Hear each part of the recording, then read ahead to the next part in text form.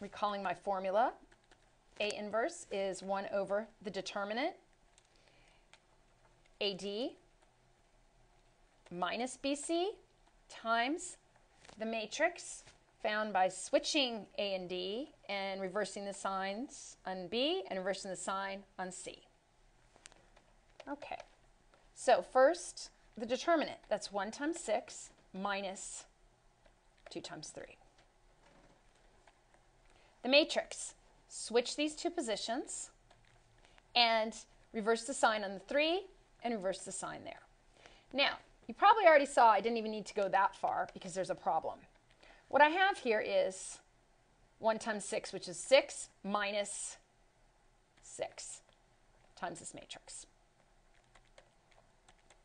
Well, this turns out, obviously, to be 0. And since you can't have that, that is not allowed, it's undefined, we can stop right here because this is undefined. In this case, um, inverse does not exist.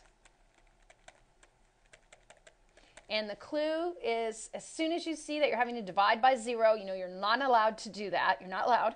So um, the, the inverse does not exist. Concludes this lesson on educator.com on identity and inverse matrices, and I will see you again soon.